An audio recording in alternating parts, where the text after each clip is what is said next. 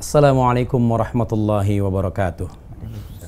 Pemirsa Nabawi TV yang dimuliakan Allah Subhanahu wa taala. Alhamdulillah puji syukur senantiasa kita ucapkan kehadirat Allah Subhanahu wa taala yang telah memberikan kita berbagai macam nikmat, terutama nikmat iman, nikmat Islam dan nikmat mahabbah atas karunia yang Allah berikan kepada kita, terutama karunia dakwah Rasulullah sallallahu alaihi wasallam. Pemirsa Nabawi TV yang dimuliakan Allah Subhanahu wa taala, siang ini kita berada di dialog eksklusif dengan guru mulia Maulana Sayyidil Habib Umar ibni Muhammad bin Hafidh Mata'anallahu bituli hayatih yang berkenan berkesempatan menyediakan waktu untuk mengunjungi kita menyampaikan taujih-taujih Rabbani kepada kita seputar ajaran Islam dan seputar dakwah yang disampaikan oleh Rasulullah sallallahu alaihi wasallam bersama dengan Guru Mulia Al Habib Umar bin Muhammad bin Hafidh uh, hadir pula bersama kita Al Habib uh, Jindan bin Novel bin uh, Salim bin Jindan.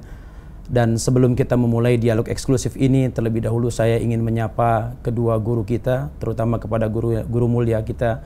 Assalamualaikum ya Maulana ya Habib. Waalaikumsalam warahmatullahi wabarakatuh. Marhaban bihudurikum Hayyakumullah wa barakallahu fikum wa fi hadhihi al-qanah qanat التلفزيون النبوي الحمد لله ما شاء الله يا حبيب نحن نرحب بحضوركم في هذه الفرصة المباركة يا حبيب لكن أنا إن شاء الله سوف أسألكم بالأندونيسية ثم يترجم آه هذا ال- آه الأسئلة آه تترجم هذه الأسئلة إلى العربية بالحبيب جدا إن شاء الله, إن شاء الله. بارك الله فيكم Eh, pertanyaannya ada beberapa pertanyaan yang mungkin perlu kita sampaikan kepada guru mulia Habib Umar terkait dengan kedatangan beliau di sini terutama yang berkaitan dengan dakwah Islamiah yang eh, belakangan ini memasuki boleh dikatakan era yang baru di negara kita negara Indonesia. Dan sebagaimana kita tahu bahwa Rasulullah Shallallahu Alaihi Wasallam merupakan teladan bagi kita semua, baik dalam keseharian beliau, kemudian cara beliau menyampaikan dakwah. Nah, berkaitan dengan dakwah yang beliau sampaikan, uh, kiranya mungkin Habib uh, Guru Mulia bisa menyegarkan ingatan kita kembali tentang contoh bagaimana Rasulullah Shallallahu Alaihi Wasallam menyampaikan dakwah. يسألكم أن الرسول صلى الله عليه وآله وسلم هو الأسوة الحسنة وكذلك يأتي إلينا داعيا إلى الله تعالى فهل آه، تحكون لنا آه، نموذج من آه، تبليغ الرسول صلى الله عليه وسلم للدعوة إلى الله وكيفيته وتذكرون ماذا كان صلى الله عليه وسلم يفعل في دعوته؟ الحمد لله الذي جعلنا خير أمة. Segala puji syukur kepada Allah yang menjadikan kita sebaik-baiknya umat.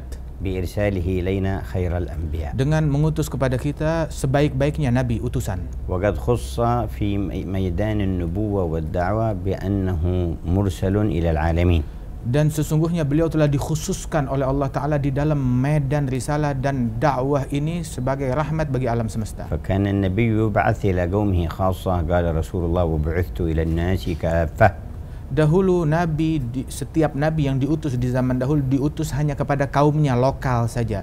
Akan tetapi Rasulullah menyatakan aku diutus oleh Allah taala untuk seluruh dunia, seluruh umat. واختيار الله له لهذه المهمة تعطينا المعنى الواضح أنه أيد من الله بقوة لم يكن يقوى عليها أحد غيره Dan pilihan Allah taala yang telah memilih Nabi Muhammad untuk berdakwah secara global eh, ini adalah isyarat dari Allah Ta'ala bahwasanya Allah memberikan kepada Nabi Muhammad kekuatan yang tidak diberikan kepada nabi-nabi sebelumnya yang sifat dakwah mereka lokal Nabi diberi, Nabi Muhammad dakwahnya global فكان الذين بعثوا إلى قوم مخصوصين فيهم من عاش الثلاثمائة سنة والأربعمائة سنة والتسعمائة والخمسين السنة ورسول الله صلى الله عليه وسلم أرسل إلى العالمين ولم يعش بعد الرسالة إلا 23 سنة Eh, dan di antara para nabi-nabi yang terdahulu yang diutus secara lokal, ada yang berusia di dalam dakwahnya itu mengemban dakwah 300 tahun, ada yang mengemban dakwah sampai 400 tahun untuk berdakwah kepada orang-orang lokalnya dia. bahkan ada yang sampai 950 tahun. Akan tetapi Rasulullah yang diutus global menyampaikan dakwah kepada dunia secara global, beliau di dalam masa kenabian dan risalahnya hanya 23 tahun saja. Wa fi khilali hadhihi al-fatrah al-qasira adda al-amana kamilah wa lam yazal al-ummatu mustafiduna min balaghihi wa irsyadihi Dan di dalam kurun waktu yang singkat, ringkas 23 tahun ini, beliau telah sempurna menyampaikan amanat dakwah dari Allah Subhanahu wa taala dan bahkan senantiasa umat menimba faedah dan manfaat yang besar dari masa 23 tahun dakwahnya Rasulullah itu hingga saat ini. ولما حمل أمانة هذه الدعوة وتكلف بعبئها عليه الصلاة والسلام ابتدأ يدعو إلى الله تعالى سرا ثلاث سنوات Dan ketika Rasulullah menerima perintah dakwah ini pertama kali menerima wahyu, beliau mulai berdakwah secara uh, rahasia selama lebih kurang tiga tahun.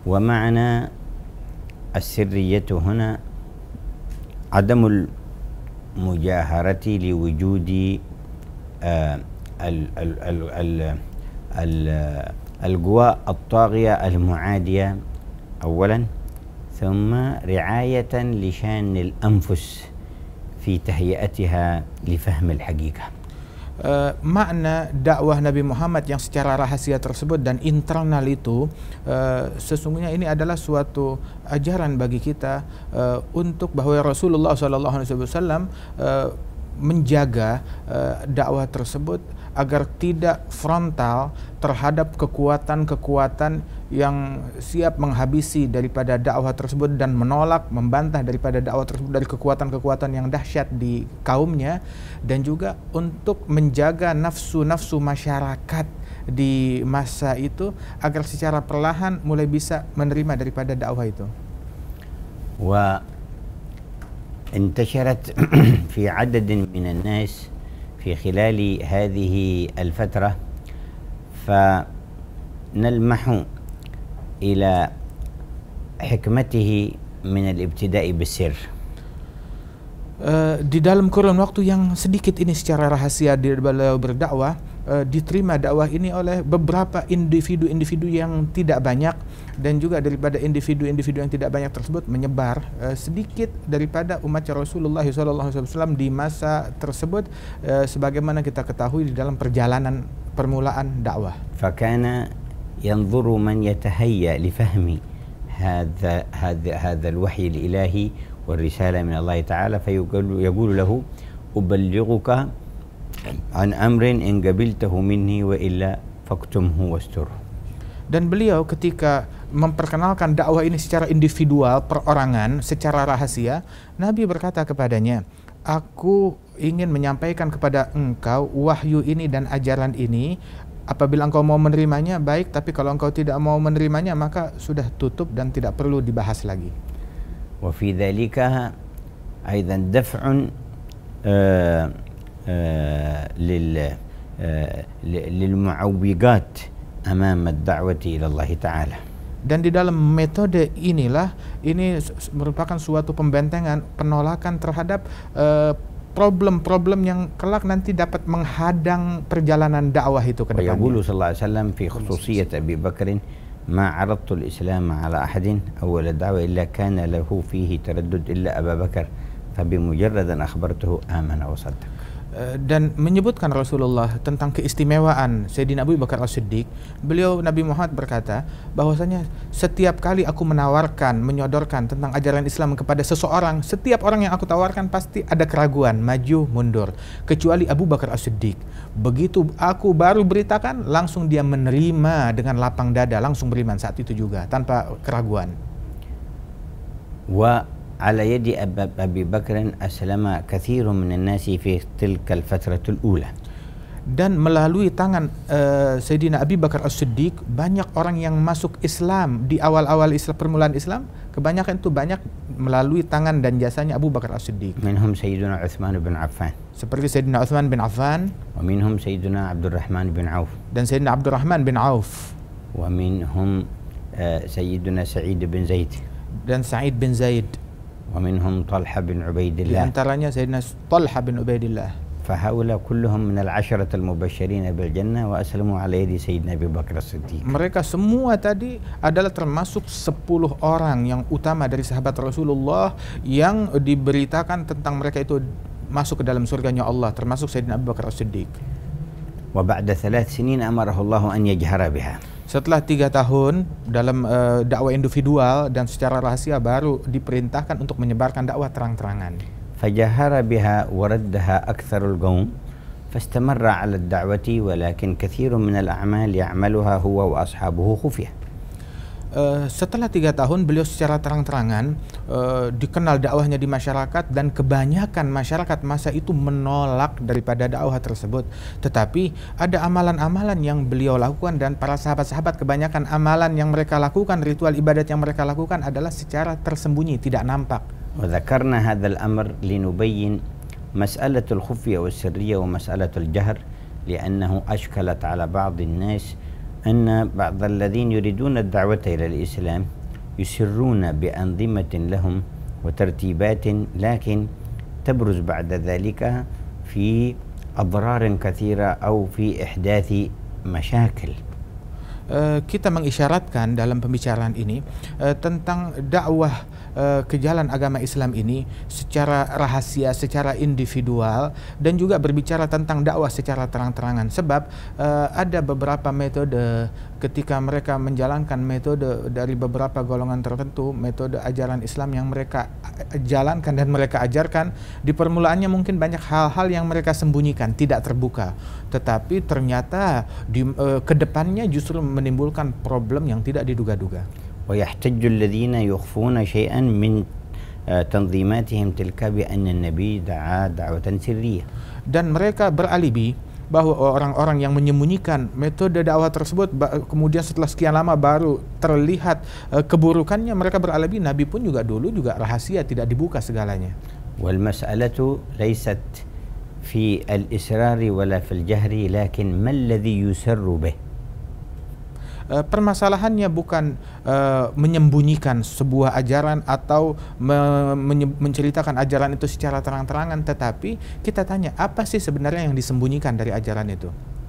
فكان من يسلم منهم من يختار أن يجهر بدعوته ويتحمل بإسلامه ويتحمل الأذى ومنهم من يخفي إسلامه Uh, sebab di antara mereka yang menerima ajaran Islam dahulu di masa Nabi Muhammad ada yang mau mengumumkan keislamannya secara terang-terangan dan rela untuk diganggu, disiksa oleh orang-orang yang menentang keislaman dia dan ada juga yang masuk Islam secara diam-diam tersembunyi agar tidak diganggu dan diteror. Walakin lam yatlub min alladziina asarru islamhum wala min alladziina a'lanu bihi anna ahadan minhum yudi abaha al-kafir aw ummuhu al-kafira aw hatta baqiyat arhame aw umum al-kuffar alladziina 'indah. Namun suatu hal yang perlu digarisbawahi. Nabi tidak pernah menyuruh atau memerintahkan atau mengisyaratkan kepada orang-orang yang masuk Islam, baik yang menyembunyikan keislamannya ataupun menerangkan keislamannya secara terang-terangan, Nabi tidak pernah menyuruh mereka untuk mengganggu ayahnya atau mengganggu ibunya atau membunuhnya atau mengganggu kafir lainnya, non-muslim lainnya tidak pernah diperintahkan oleh Nabi Muhammad. Faman kana min sirri يدعو أتباعه لأن يعتقدوا السوء في آبائهم أو يوقعوا أو يوقعوا الأذى بهم فما له حجة في سرية النبي بدعوته. uh, barang siapa yang mengklaim berdakwah secara sembunyi-sembunyi, menyembunyikan uh, ideologi di dalam uh, dakwah yang diajarkan akan tetapi mengajarkan kepada jamaahnya untuk menanam kedengkian, kebencian kepada orang tuanya dan kerabatnya dan orang lain, maka di sini apa alibi apa yang dia katakan saya mengikuti dakwah Nabi secara sembunyi-sembunyi pula? Alibi yang bagaimana? Wal mizanu anna hunaka min as-sirriyah ma yutawassal bihi ila al-khairi wa.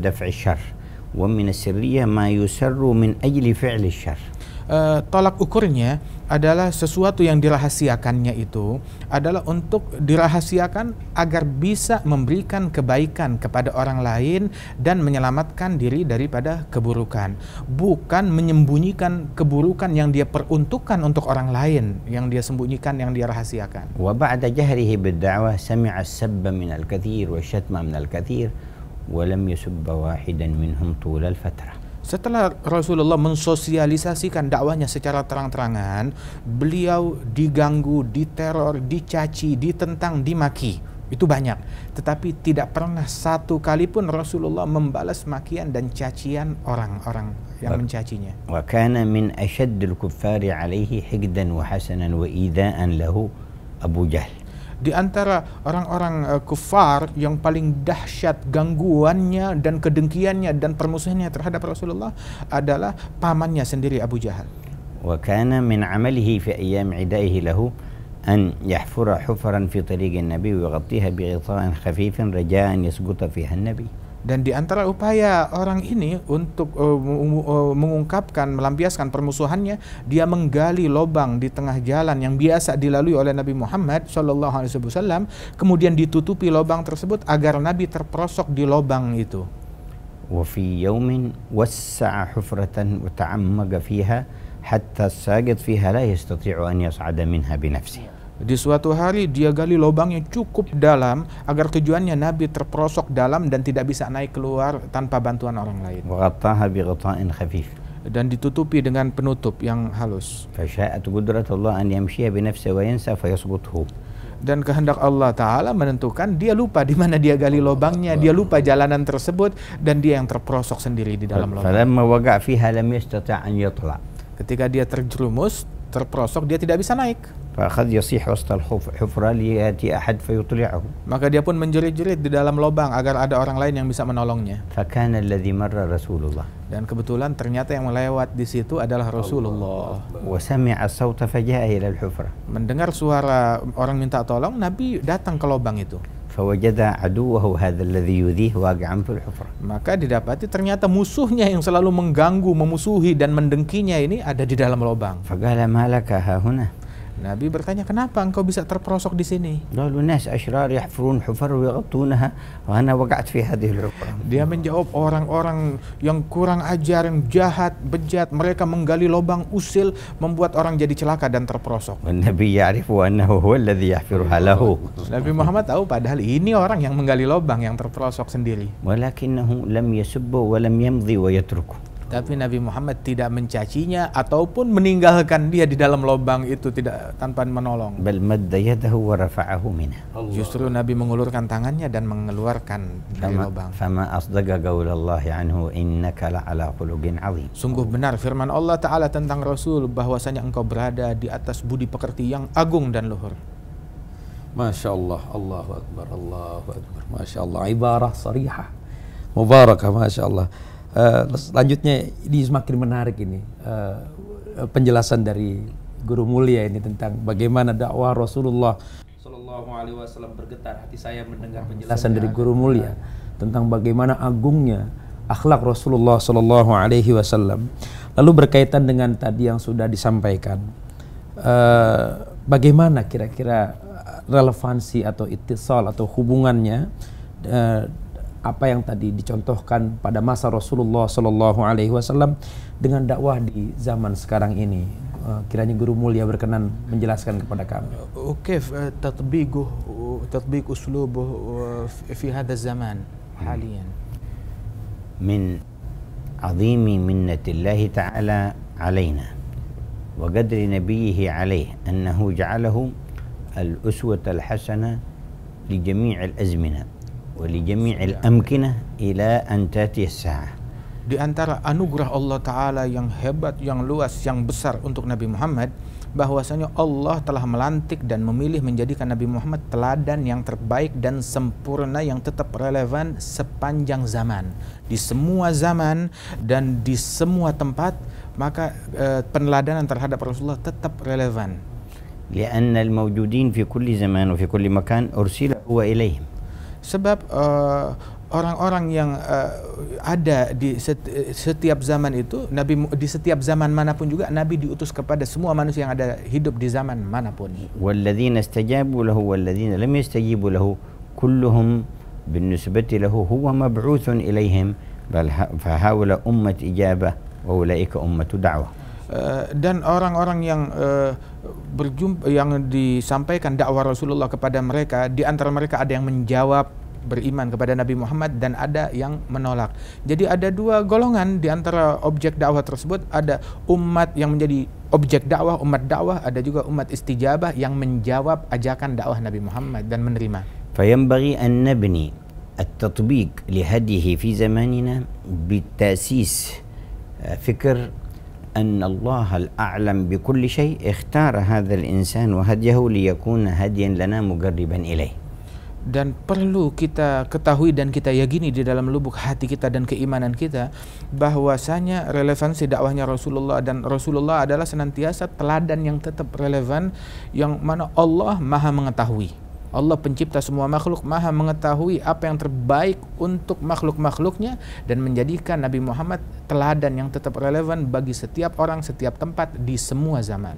فلا يمكن أن تأتي فكرة لأحد في أي مسلك وأي أسلوب في أي زمان وفي أي مكان تكون أنجح ولا أفلح ولا أحسن من هديه صلى الله عليه وسلم الذي جاء به لأن خالق الزمان والمكان اختار هذا الهدي لكل زمان ولكل مكان maka tidak boleh dan tidak bisa diterima dari uh, ucapan orang-orang manapun yang berkeyakinan kalau ada metode yang dilakukan oleh Nabi sudah tidak sesuai lagi di zaman sekarang untuk orang sekarang untuk masyarakat tertentu ucapan ini tidak bisa diterima. Sebab Allah pencipta semua manusia pencipta semua masyarakat, pencipta semua budaya, pencipta zaman, semua zaman, pencipta semua tempat, Allah yang Maha mengetahui dan Allah telah menciptakan manusia ini dan memilihnya sebagai teladan yang terbaik untuk semua lapisan masyarakat, semua tempat dan untuk semua zaman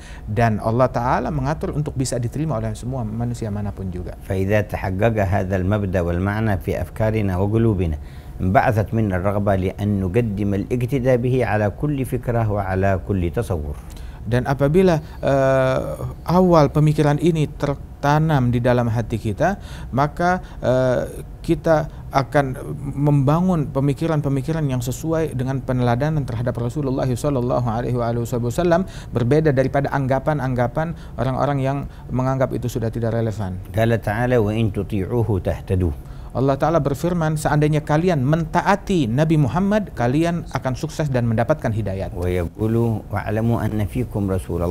fi amri ay al-mashaqqa bikum wa. Uh, dan Allah Ta'ala berfirman ketahuilah bahwasanya di tengah-tengah kalian terdapat Rasulullah utusan Allah Nabi Muhammad seandainya Nabi Muhammad mau mengikuti pendapat kalian menurut kepada uh, hasil pemikiran kalian secara pribadi maka justru akan menimbulkan dampak negatif dan kesusahan yang menimpa diri kalian sendiri. قال ولكن الله حبب إليكم الإيمان وزينه في قلوبكم وكره إليكم الكفر والفسوق والعصيان أولئك هم الراشدون Namun Allah Subhanahu wa taala yang menanamkan di dalam hati kalian kecintaan kepada keimanan dan ketaatan dan Allah taala hiasi hal tersebut di hati kalian hingga kalian menyukainya. Dan Allah menanamkan di dalam hati kalian kebencian terhadap kekufuran dan kefasikan dan kemaksiatan. Eh, dan ini semuanya adalah rahmat dari Allah Subhanahu wa taala dan yang mengikuti jalan tersebut mereka orang yang beruntung. فميزة المؤمن أمام الآراء المختلفة والتصورات المتخالفة ميزة المؤمن أنه بهذا النور يعصم من الخطأ والباطل التي في هذه الآراء بالميزان بأن يقبل من الآراء والتصورات ما يوافق هدي النبي ويرد ما يخالفه وبذلك يكون معصوما وراء في في وسط آراء البشر وفي وسط تصوراتهم من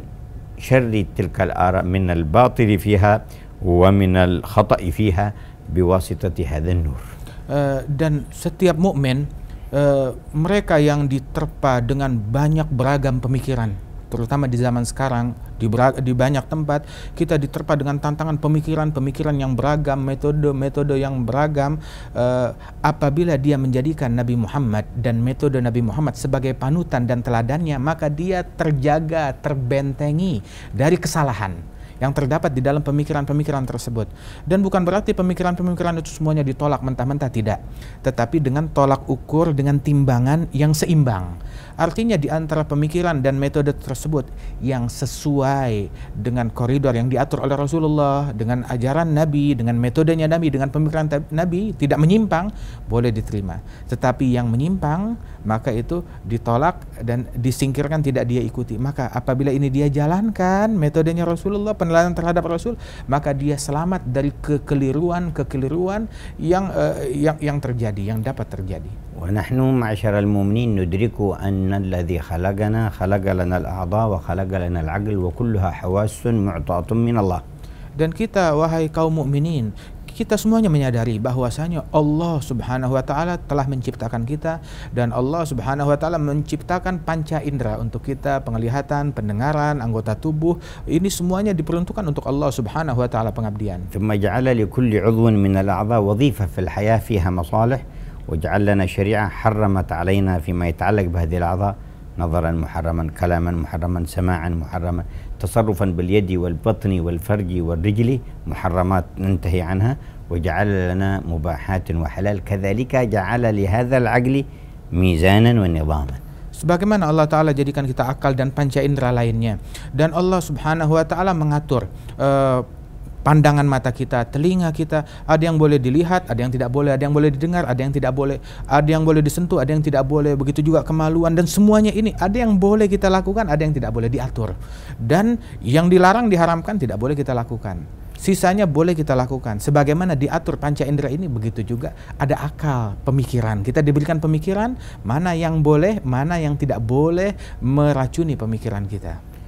فالذي يجعل راي عقله مقدما على كل شيء هو الذي اتخذ العقل صنما من الأصنام فأراد أن يعبده uh, ada orang-orang yang menjadikan akalnya itu sebagai segalanya sebagai pengatur bahkan sudah bagaikan berhala yang disembah dia menyembah akalnya sendiri من غرائب ما حصل في البشر أنه ربما طوائف بعضهم إلى الآن موجودين يعبدون أيضا بعض أعضاء الإنسان بل منهم من يسجد عند رؤية الفرج uh, bahkan ada sampai sekarang ini pemikiran-pemikiran yang primitif primitif uh, mereka menyembah menyembah anggota tubuh manusia. Ada anggota tubuh manusia yang mereka sembah, bahkan ada yang uh, suatu uh, ideologi yang menyembah bahkan kemaluan Dari seseorang. لكن في الخطأ هذا مثله مثل الذي أيضا يحكم العقل على وحي الله وعلى بلاغ الرسول نفس الشيء يعبد حاسة من الحواس مخلوقة أعطيها Nah, dia menyembah anggota tubuh manusia tidak masuk akal. Nah, ini anggota tubuh anugerah pemberian dari Allah sebagaimana Allah menganugerahkan akal. Orang yang menyembah akal, mengedepankan akal, mengabdi kepada akal, ya sama seperti menyembah anggota tubuh-anggota tubuh tersebut. ولذا نرى العقل من واحد إلى آخر يختلف Jadi kita lihat akal-akal pun juga berbeda satu sama lain. Akal semua manusia beda-beda. ويدرك هذا ما لا يدرك هذا Yang ini mengerti, yang ini tidak mengerti, yang ini tahu, yang ini tidak tahu. ولهذا كان من قواعد فقهاء المؤمنين أن يقولوا لا اجتهاد مع النص E, karena itu di antara istihad para fugaha kaum mukminin mereka mengatakan apabila sudah ada nas yang jelas daripada ayat dan hadis maka sudah tidak ada istihad lagi kalau nasnya itu sudah ada nyata. فوظيفة العقل حسن التنفيذ والتفكير في الوسائل الداخلة تحت إطار المباح Uh, artinya tugasnya akal itu akal itu melaksanakan menjalankan di dalam uh, medan yang dimubahkan وفي هذا جاء سيدنا عمر مرة فمر تحت دار العباس بن عبد المطلب فوجد ميزابا قريبا من الأرض Atas dasar ini, uh, Sayyidina Umar satu kali dia ke, uh, menjabat khalifah dan beliau melalui uh, jalanan di tepi rumahnya Sayyidina Abbas dan kebetulan di situ ada pancuran, pancuran air yang mengganggu jalannya orang karena terlalu rendah. Maka dia pun berijtihad dan dia memang punya keahlian untuk ijtihad. An hadza li gurbihi rubbama dagga aw man marra wa ma'ahu himlun aw ala dabbah rubbama asabahu fa amar binaz'ih maka Sayyidina Umar dengan istihadnya dia ber, berkeyakinan bahwasanya ini mengganggu uh, orang lain dan bisa membahayakan apabila ada orang yang tinggi mungkin akan terbentur, akan terluka atau orang yang membawa barang mungkin akan terganggu dan tidak bisa melaksanakan uh, kegiatannya di jalan tersebut. Maka beliau pun memerintahkan untuk dicabut pancuran yang mengganggu tepi jalan. Wa ba'da an naza'ahu ja'a al-Abbas 'an Nabi sallallahu alaihi wasallam. Begitu dicabut, yang punya rumah datang. Ternyata itu Sayyidina Abbas, Fagal pamannya Nabi. Fagal malak Amir Mu'minin naza'alta hada. Maka Abbas berkata, "Wahai Amirul Mukminin, kenapa engkau cabut pancuran rumah ini?" Ra'aituhu ghariban min al-ardi fa khaftu an yadhurra al-marra. Aku melihat bahwa saya pancuran ini terlalu rendah dan akan mengganggu orang yang melewatinya. Gal lakin atadri man wada'ahu fi hadzal makan? Sayyidina Abbas menjawab, "Tahu tidak engkau siapa yang meletakkannya dan menancapkannya di tempat itu?" Gal la, faman wada'? Dia bilang, saya tidak tahu siapa yang meletakkannya. Gal wada'ahu Rasulullah. Maka dijawab yang meletakkannya Rasulullah. Falamma qal hakadha ihtazza Sayyidina Umar wa qal rudduhu fi makanihi ruddahu ya Abbas wa ala dhahrikum faruddahu fi makanihi. Maka Sayyidina Umar mengatakan, kembalikan pancuran ini ke tempatnya. Dan engkau wahai Abbas, engkau yang pasang, tapi pasangnya bagaimana? Engkau naik ke pundakku, kata Amirul Mukminin. Engkau diri di atas pundakku, engkau yang pasang. فقال من ردوني ظهرك نرده قال لا قم على هذا الظهر الذي أخرج شيئا وضعه الرسول فرده إلى مكانه فوضع العقل في حده سيدنا عمر لما جاء النص وقف الاجتهاد Sayyidina Abbas beliau mengatakan tidak, aku pun bisa mengembalikannya ke tempatnya tanpa naik ke atas pundakmu. Sayyidina Umar bilang tidak, engkau harus naik ke atas pundakku ini eh, untuk mengembalikan sesuatu yang tadi aku cabut padahal itu pernah dipasang oleh Rasulullah. Masya Allah. Idan سيكون منهج الرسول صلى الله عليه وسلم في الدعوة آه، قاعدة عظمى الله أكبر أليس أليس هو كذلك؟ هو ما كذلك شاء الله ونعم القدوة هو ما شاء ونعم الله الصحابة صحابته Allahu Akbar, Masya Allah. Eh, Guru mulia, kiranya mungkin eh, Guru mulia juga berkenan menjawab pertanyaan kami lagi. Apa yang harus kita lakukan agar dakwah kita ini tetap tepat sasaran? يعني آه، نسألكم ماذا علينا حتى تكون الدعوة آه، وصلت آه، على المراد المرضي عند الله سبحانه وتعالى يجب أن نأخذ جانبا حسنا في العلم حتى نتفقه في الدين Pertama, kita orang yang ingin berdakwah dia harus memiliki pondasi yang cukup di dalam keilmuan, mengerti agama itu sendiri. والفقه في الدين يشمل الأحكام ويشمل ال- الاعتقاد ويشمل السير والسلوك Eh, ilmu pemahaman agama ini itu di dalamnya berkaitan tentang hukum-hukum agama, hukum-hukum fikih, kemudian juga tentang keyakinan akidah eh, dan juga berkaitan tentang suluk dan akhlak. وبعد هذا الفقه في الدين نحرص على حسن التطبيق والتنفيذ والعمل فيصير عندنا ذوق ووجدان فيقوم فينا التزكية. Setelah mengerti akan keilmuan, akan agama tersebut, maka hendaknya seseorang mengamalkan dan mempraktekkan daripada amalan-amalan tuntunan ilmu, tuntunan akhlak dan adab tersebut dia jalankan sehingga dia menjadi teladan yang bisa dilihat di masyarakat. Eh, dengan eh, pensucian batin eh, dari sikap-sikap dan perangai yang tercela, maka kita akan membersihkan diri kita daripada sifat-sifat yang buruk وان ننتزع الصفات الذميمه من بواطننا dengan mencabut sifat yang buruk dari hati kita dan menghiasi dengan yang baik. فيكون تصرفنا وانطلاقنا تحت اشاره الشرع والعقل Sehingga eh, gerakan kita dan kegiatan yang kita lakukan itu semuanya sesuai dengan petunjuk syariat dan juga petunjuk akal. وبهذا المسلك نقوم بالتعامل مع الناس والدعوه الى الله تبارك وتعالى Dengan cara dan metode semacam inilah kita eh, berjalan berdakwah mengajak manusia kepada Allah. وهذا المذكور في ايات في القران Dan ini semua disebutkan di dalam ayat di dalam Al-Qur'an. منها قوله تعالى إذ بعث فيهم رسولا من أنفسهم يتلو عليهم آياته ويزكيهم ويعلمهم الكتاب والحكمة uh, di antara firman Allah Taala ketika Allah Taala mengutus Nabi Muhammad SAW dari diri mereka sendiri untuk membacakan kepada umat ayat-ayat Allah Taala dan memberikan tazkiyah, Baik. mengajarkan akhlak dan suluk dan juga mengajarkan kepada mereka Alkitab dan Sunnah, hikmah. و فقوله يتلو عليهم آياته نموذج للدعوة إلى الله تعالى وكيفيتها Eh, firman Allah Taala membacakan ayat-ayat Allah ini merupakan salah satu uh, contoh dan teladan uh, metode dakwah Rasul sallallahu alaihi wasallam ke jalan Allah. Wa qawlu yuzakihim isyarah ila hadhihi tanqiyah lid-dhamir 'an as-sifat as-sayyi'ah Adapun apa yang disebutkan tentang tazkiyah itu merupakan untuk pengamalan ilmu dan juga e, dengan berakhlak santun dan juga dengan membersihkan hati dari sifat tercela dan menghiasinya dengan yang baik. Fayahsul at-takhallus min al-kibri 'ala al-akhirin. didapatkan dari berkat tazkiyah itu dia selamat dari sifat kesombongan terhadap orang lain minal hasadi lil ataupun dengki kepada orang lain. Min su'idzanni bil akharin. Atau prasangka buruk kepada orang lain. Min ghalabatil hawa.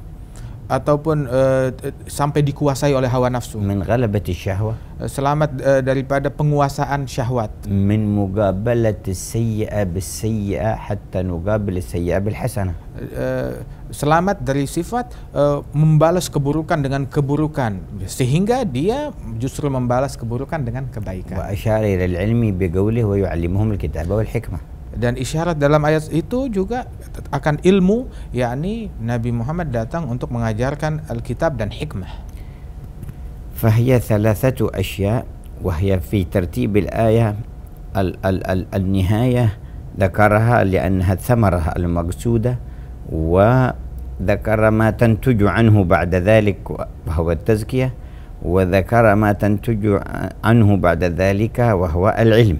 فذكر الدعوة والتزكية والعلم. Maka di dalam satu ayat ini eh, disebutkan tiga hal.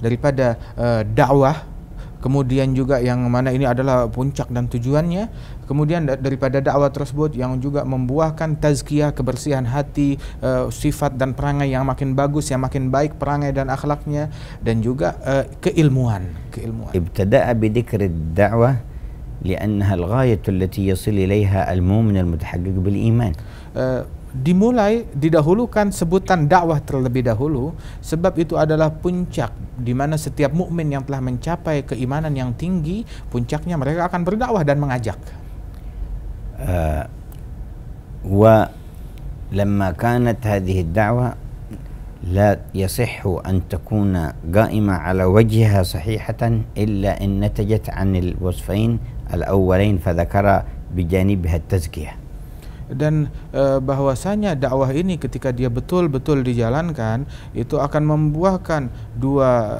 hal yang sangat penting maka disebutkan di sisi yang penting tersebut adalah sisi tazkiyah فقدم التزكية على العلم لأنها مقصود العلم وثمرته dan didahulukan tazkiyah sebelum ilmu. Sebab tujuan ilmu adalah untuk membuat orang makin baik, makin berakhlak, makin santun, makin mulia. ولكن كلا من الدعوة والتزكية لا يصح أن تقوم إلا على نور العلم الصحيح Namun bahwasanya pondasi dakwah dan pondasi tazkiyah itu tidak bisa menjadi terlaksana dengan baik kecuali atas dasar keilmuan yang betul. ما شاء الله ما شاء الله بين الدعوة والأخلاق الدعوة والسلوك رابط العلم قوي نعم العلم والس- والسلوك وال- والدعوة إلى الله ما شاء الله. الله أكبر ما شاء الله. تشير إلى هذا آية في الكتاب قوله تعالى ومن أحسن قولا ممن دعا إلى الله وعمل صالحا. وقال إنني من المسلمين. بعدها مباشرة ولا تستوي الحسنة ولا السيئة ادفع بالتي هي أحسن. أحسن. فهذا الربط بين الدعوة إلى الله تعالى وبين السلوك والتزكية والعلم. قال آه وعمل صالحا. يعني هو آه مزكى ينفذ ويطبق ما علم. وعمل صالحا وقال إنني من المسلمين آه أعلن عبوديته لله تبارك وتعالى وتحرره من أن يكون في تبع الكائنات ولكن متعامل مع الكائنات بمنهج رب الكائنات.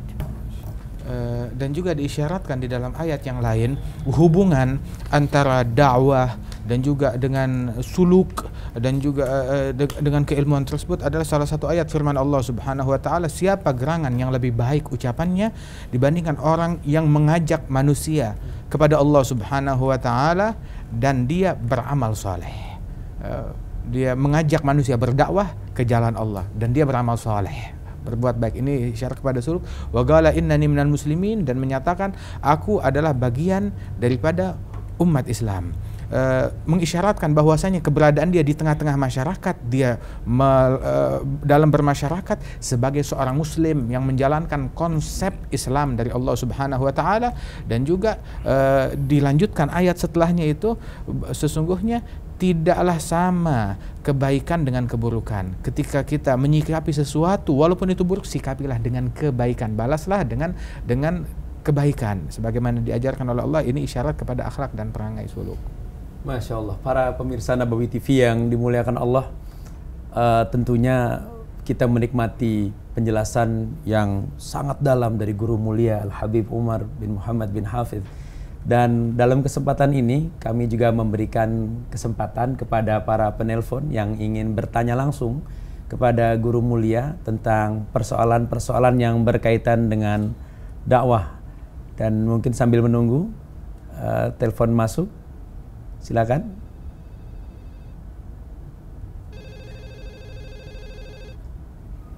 Ya, ada dua penelpon yang kami berikan kesempatan untuk menyampaikan pertanyaan langsung kepada Guru Mulia Habib Umar bin Hafid.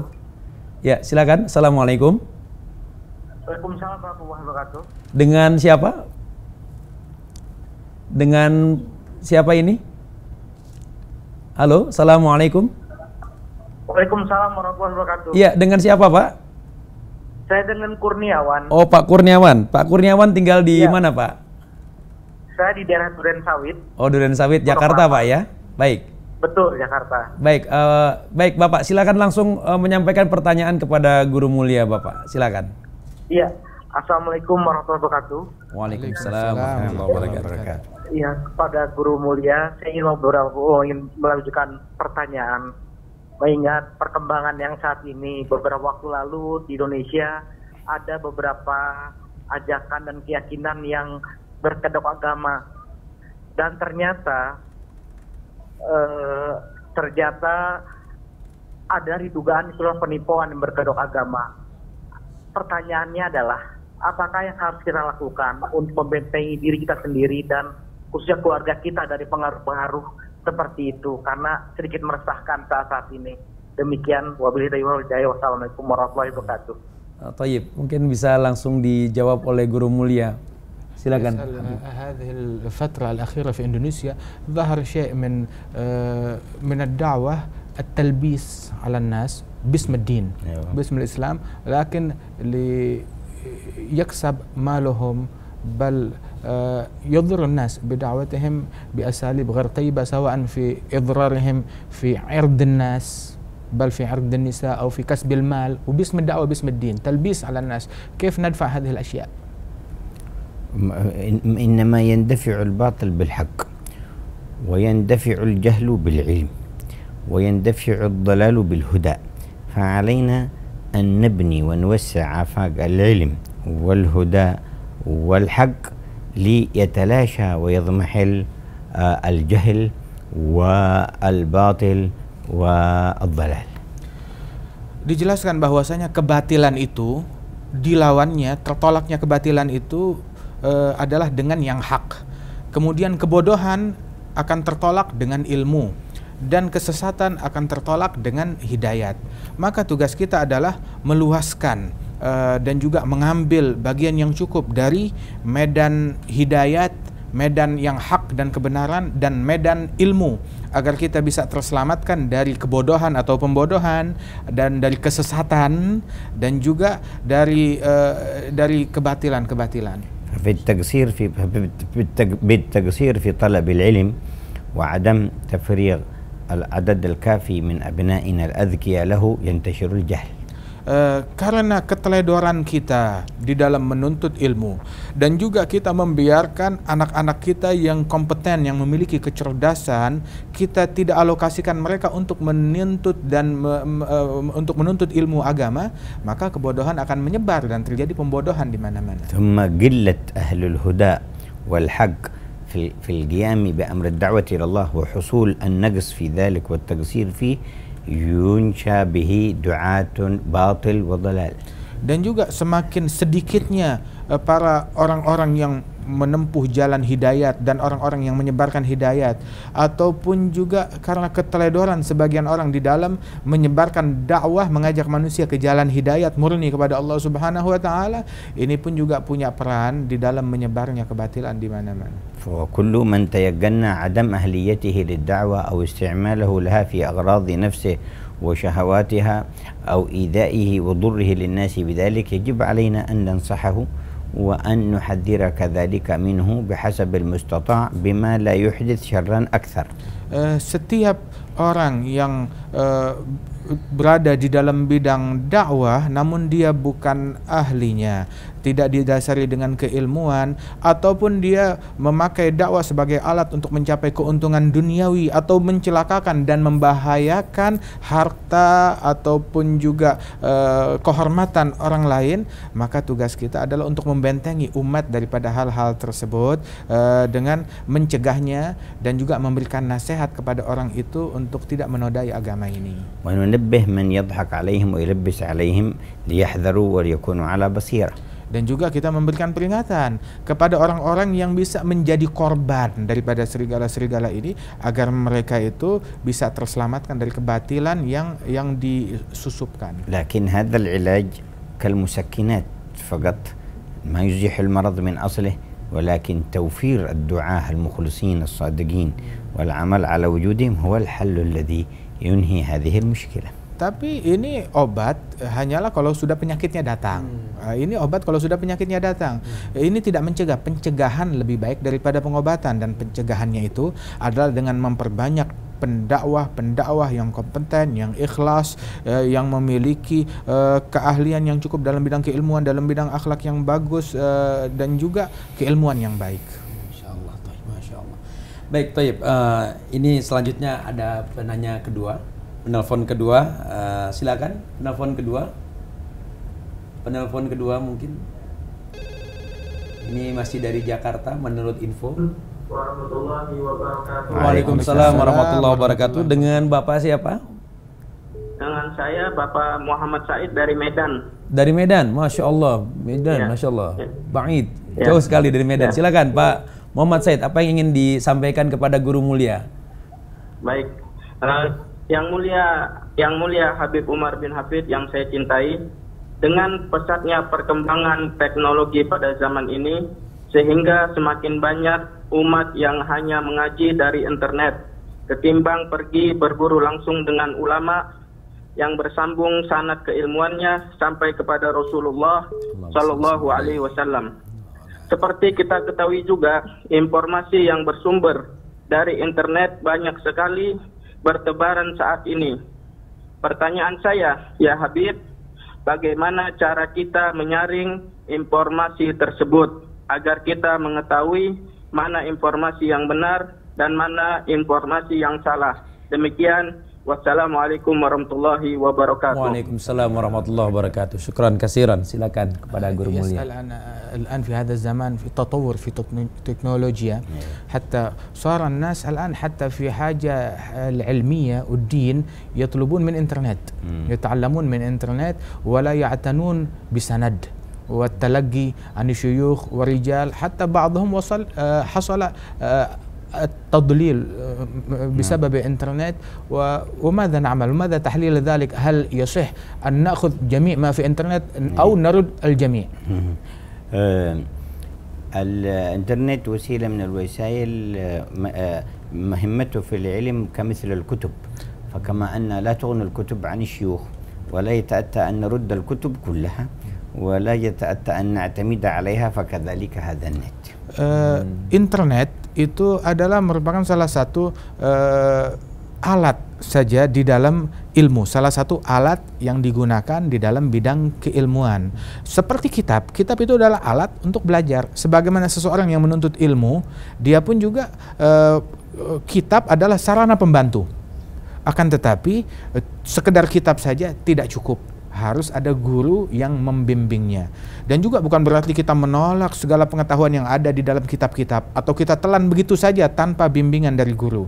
Nah, begitu juga internet itu eh, kita hanya dari internet saja tanpa bimbingan guru itu tidak benar. Harus ada guru yang me me mengarahkan dan membimbing. Di dalam syair disebutkan kitab-kitab, buku-buku adalah pengingat bagi orang yang alim. Wasawabuha bimahaliha ma'yunu. Dan yang benarnya dengan yang salah itu semuanya campur di dalam kitab semuanya ada. Wal fikru 'alaiha mukhrijun. Dan pemikiran itu yang akan menyelami di dalamnya dan dia yang akan mengeluarkan dan menseleksi. Wal fiha jauharun dan di dalam kitab-kitab itu ada juga berlian-berlian yang dikeluarkan eh, dan yang hak dikeluarkan semuanya itu dengan cahaya akal. Wa syairul akhar man ya'khudhul ilma an syaikhin musyafahatan yakun min az-zay'i wat-tashifi fi harami.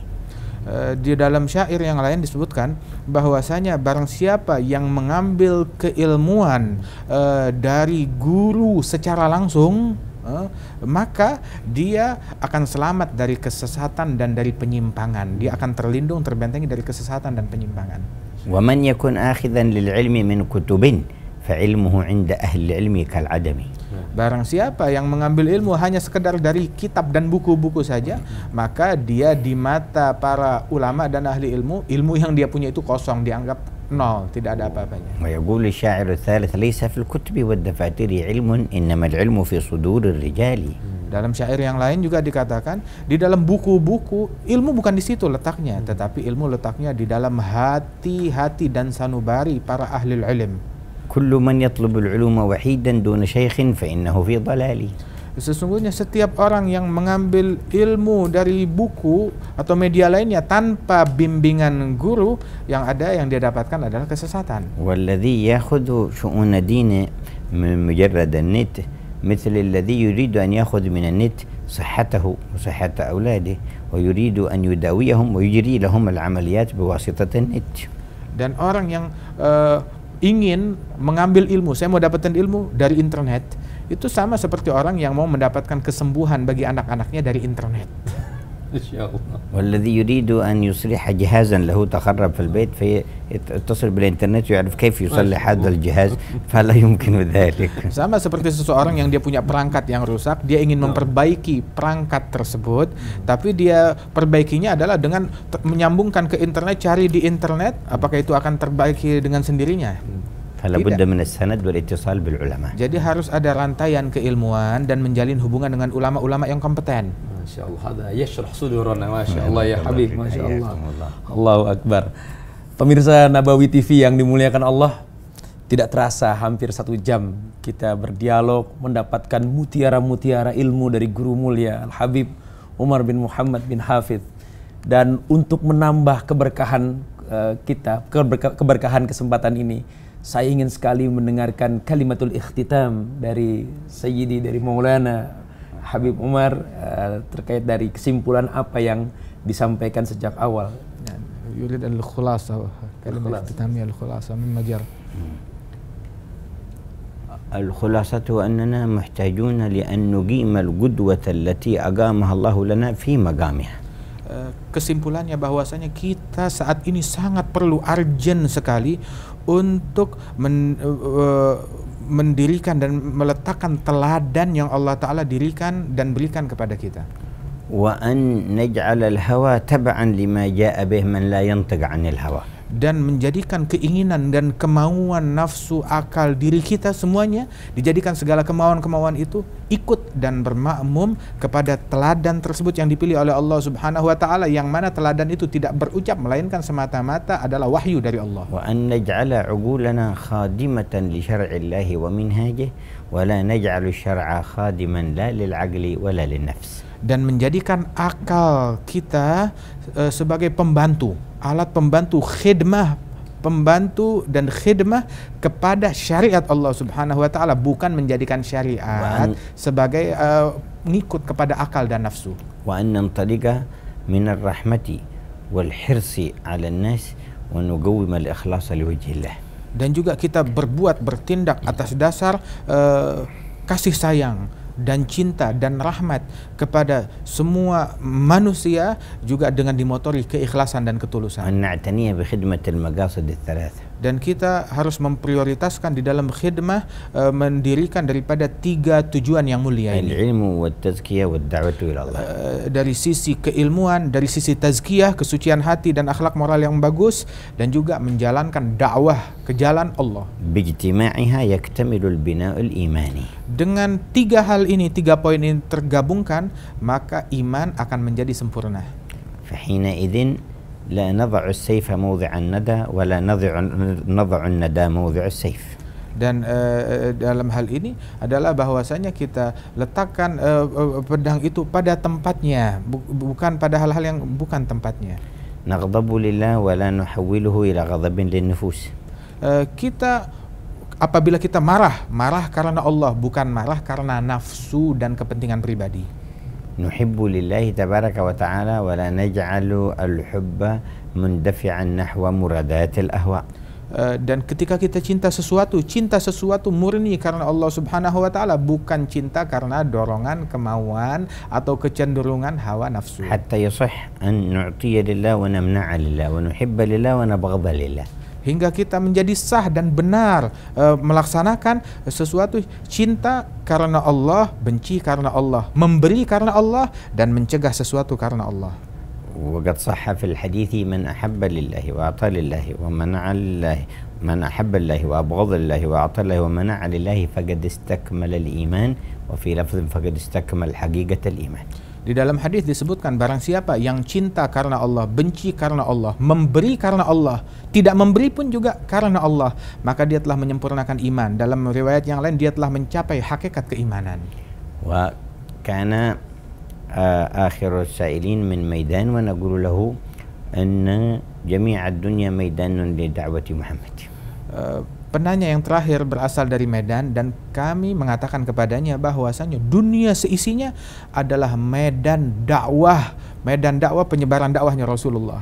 وعلى أهل أندونيسيا أن يشكروا الله الذي أشرق عليهم أنوار الإسلام منذ قرون حتى عم شعبهم وحكامهم من قبل 600 ع- عام وزيادة dan kami menghibau kepada seluruh rakyat Indonesia agar mereka bersyukur akan nikmat Allah Subhanahu wa taala yang telah menganugerahkan kepada mereka bahwasanya Islam menyebar dengan damai di bumi Indonesia ini hingga merata di kalangan rakyat jelata semua lapisan masyarakat sampai ke kalangan elit atasan politik penguasa-penguasa. Merata Islam menyebar di antara mereka itu mulai dari ratusan tahun yang lalu 600 tahun bahkan lebih dari sebelum Islam wasalahum an tariqi ahli sanad. من خواص أهل السنة والجماعة وأكثرهم من عترة النبي وأهل بيته. dan mereka harus bersyukur bahwasanya Islam telah sampai lebih dari enam abad yang lalu ke bumi Indonesia ini adalah dengan dibawa oleh uh, atas dasar ahli sunnah wal jamaah mayoritas umat Islam itu may- ahli sunnah wal jamaah dari ulama-ulama yang kompeten yang memiliki sanat yang tersambung yang kuat ke atas kepada Rasulullah dan juga banyakan dari mereka itu adalah orang-orang pilihan yang dari keluarganya Rasulullah Shallallahu Alaihi Wasallam. ووجدت دعوتهم من قلوب الإندونيسيين أرضا خصبة فأثمرت فيها فاشتهر الإندونيسيين في العالم بالأخلاق Dan mereka ketika datang ke bumi Indonesia menyebarkan dakwah ini, mereka mendapati hati dan sanubari jiwa rakyat Indonesia itu adalah bagaikan lahan yang subur yang ketika ditanami benih iman yang bagus menumbuhkan hal-hal yang indah, yang bagus, sedap dipandang berupa akhlak dan perangai yang mana sampai saat ini perangai dan akhlak orang Indonesia ini sangat dikenal di dunia. وهم بملايينهم مضت عليهم قرون مسلموهم ما يعرفون إلا المسلك الهدى لأهل السنة والجماعة شافعيون أشعريون dan sejak berabad-abad yang lalu semua umat Islam di Indonesia sejarah masuknya Islam di Indonesia berabad-abad yang lalu itu masyarakat Indonesia di seluruh lapisan masyarakatnya mereka itu hanya mengenal Islam dari ahli sunnah wal jamaah bahkan dalam satu madhab syafi'i dalam agidah asy'ari asy'ariyah hanya dari satu itu saja mereka mengenal dengan maslak atau tempuhan jalan ahli hidayat فليستشعروا هذه النعم ويشكروا الله عليها hendaknya uh, mereka para rakyat Indonesia mensyukuri nikmat Allah ini dan bersyukur dengan sebenar-benarnya وليحافظوا عليها dan jaga ini nikmat ونشكر قناة ال- آه، التلف- التلفزيون النبوي لما تقوم به من جهد والله يوسع لها الآفاق ويزيدها فائدة في الأمة dan kami mengucapkan terima kasih yang sebesar-besarnya kepada uh, Nabawi TV uh, semoga dijadikan semakin berperan di dalam menyebarkan dakwah Nabi Muhammad SAW dan memberikan manfaat yang luas kepada umat semuanya ويجعل جميع القائمين عليها شركاء في نصرة الله ورسوله ولهم يد عند المصطفى dan semoga Allah Ta'ala menjadikan setiap orang yang memiliki andil dan berkhidmah di stasiun Nabawi TV ini Allah Ta'ala berikan pahala kepada mereka sebagai pahala orang-orang yang turut andil di dalam berdakwah. Masya Allah Alhamdulillahi ala jami'in ni'am. Masya Allah Ahlul Baiti Ahlul Baitil Mustafa Tuhuri Hum amanul ardi faddakiri Waqad sahha hadal qawl Masya Allah Masyukuro ya Maulana ya Habib Umar Masya Allah Pemirsa Nabawi TV yang dimuliakan Allah Subhanahu wa taala. Keinginan kita berdialog lebih lama dengan guru mulia karena begitu dalam, begitu banyak mutiara yang tersimpan dan kemudian dikeluarkan satu persatu oleh guru yang mulia dengan penjelasan yang masya Allah yang luar biasa. Dan ini betul-betul mengembalikan kepercayaan diri kita sebagai umat Rasulullah Muhammad Sallallahu Alaihi Wasallam dan keyakinan diri kita untuk menyiarkan dakwah dengan akhlak, dengan ilmu, dengan modal tazkiyatun nafas sebagaimana tadi telah dipesankan oleh guru mulia. Dan pada kesempatan kali ini saya pembawa acara Abdi Kurnia mohon dibukakan pintu maaf yang selebar-lebarnya apabila dalam wawancara eksklusif ini ada beberapa hal yang mungkin kurang berkenan di mata pemirsa semuanya. مشكورة جزاكم الله أحسن الجزاء يا مولانا. وأنتم أحسن الله إليكم وزادكم توفيق ونفعا وبركة. أمين أمين. ونرجو منكم صالح دعائكم يا مولانا ما شاء الله. مشكورة يا حبيب جندان. ما شاء الله ترى kasih. بالله وما توفيق إلا بالله. عليك توكلت وإليه ينيب السلام عليكم ورحمة الله وبركاته. السلام ورحمة الله وبركاته. مشكورة يا حبيب. ما شاء الله. ما شاء الله. الحمد لله. قبول إن شاء الله.